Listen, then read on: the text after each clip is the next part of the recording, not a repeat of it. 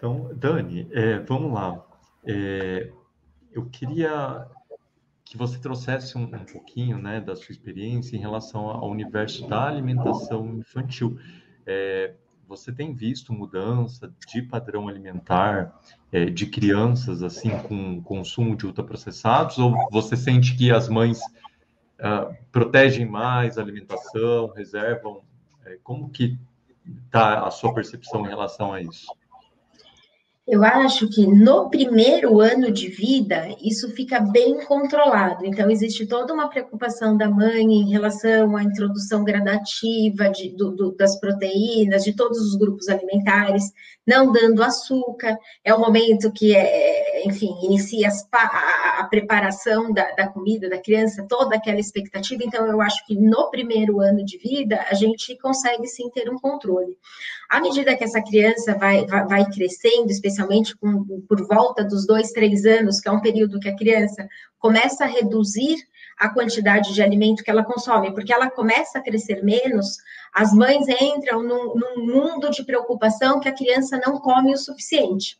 E aí que elas começam a incrementar coisas diferentes. Aí que entra, ah, ele não está comendo, tomando bem leite de manhã, eu vou dar um pão com, com, com peito de peru, porque é muito saudável, junto com um pedacinho de, de queijo. Ah, a gente já come, eu já estou dando para ele também. Nossa, ele passou a comer bem. Incrível, é, isso felizmente tem mudado, mas a gente, a gente vê é, cardápio de escolas que presunto e queijo, pãozinho, presunto e queijo, é lanchinho ofertado na escola. Então, é, é pacotinho de bolo de industrializado é ofertado como lanche na escola. Algumas escolas têm mudado, mas a nossa realidade de escola pública, isso, isso, isso acontece. Então, Acho que a mãe tem um controle muito bom, mas à medida que a, que a, que a criança vai crescendo, passa para a fase do pré-escolar e pré-escolar, os ultraprocessados vão entrando dentro de uma enxurrada, na verdade. É bolacha, é chocolate, não se faz mais o bolinho da receita da avó, é o bolinho pronto de pacotinho, é o salgadinho, e isso vai sendo embutido, e, e, o, que é, o, o que é pior, de fácil acesso. As mães têm isso dentro de uma prateleira em que a criança criança deu fome, ah, eu vou lá e a criança pode ir lá e, e, e pegar. Enfim, cada vez um controle me, me, menor aí, uma rigidez menor aí no, no, no, no, processo educacional e, e, tudo livre do jeito que a criança quer. E depois vem com a queixa, ai, doutora, ele não come. Senta na mesa, não quer comer, não almoça, não janta. Ah, mas o que ele come de dia? Ah, não come nada. Aí, quando você vai, vai, vai fazer a frequência, tem por semana cinco pacotes de bolacha que ela compra, tem não sei quantos pacotes de, de, de, de, de, de caixinha de chocolate.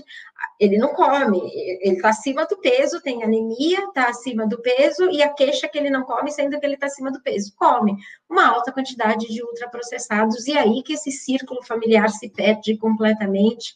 E, e, é super difícil corrigir, porque é muito difícil mudar a cabeça dos pais. Esse é o grande problema. E aí, é. acho que o guia, o guia para as crianças de, de dois anos, é, ele embute muito esses conceitos, né, nos primeiros dois anos, ele embute muito esse conceito de, desde cedo, colocar, o, colocar os alimentos in naturas e seguir isso, né? Seguindo, dando continuidade ao longo da vida.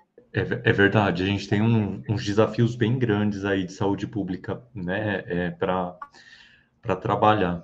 Gostou do vídeo? Aqui embaixo na descrição do vídeo você tem o link para você assistir esse vídeo na íntegra, completão. Você pode assistir toda a entrevista, o bate-papo. Aproveite também, inscreva-se no nosso canal e eu deixo duas dicas bem legais aqui para vocês de outros cortes do nosso canal. Um grande abraço para vocês. Namastê!